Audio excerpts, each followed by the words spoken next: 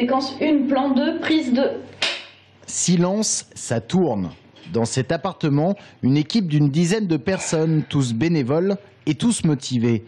En un week-end seulement, ils doivent réaliser un court métrage. Les directives ont été données le vendredi soir et le dimanche soir, tout doit être livré. Tout est compliqué, c'est un challenge en fait. Euh, déjà l'organisation, trouver une équipe avec des gens, des techniciens, des comédiens qui soient disponibles sans savoir vraiment ce qu'ils vont faire parce qu'on saura au dernier moment en fait en fonction du tirage, en fonction du scénario.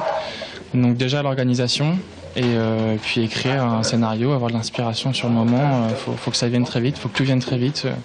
Il y a très peu de répétitions. Pour cette équipe, ce fut écriture le vendredi, tournage le samedi et montage le dimanche. Dans les critères imposés, le genre cinématographique, un personnage, un objet, mais aussi des répliques. Pas facile donc de composer avec tout cela. Quant au scénario du film, nous aurons bien essayé, mais aucune information sur le script nous a été donnée. Confidentialité oblige jusqu'à la projection. Nous n'avons même pas eu le droit de filmer la scène. Alors l'histoire, oh, c'est difficile. Hein. On, est, on est tombé sur le genre film noir et on a eu beaucoup de chance parce que c'est notre genre de prédilection. Et puis ben, ben on s'est lâché. Donc euh, comment on pourra raconter ça? Je peux pas la raconter. Je peux juste dire que c'est une histoire qui est très très glauque, euh, noire. Les personnages sont barrés. Barré, il peut l'être, Rodolphe Coutu, acteur bien connu à Tours et qui s'est livré à cet exercice. Ce soir, tout sera joué.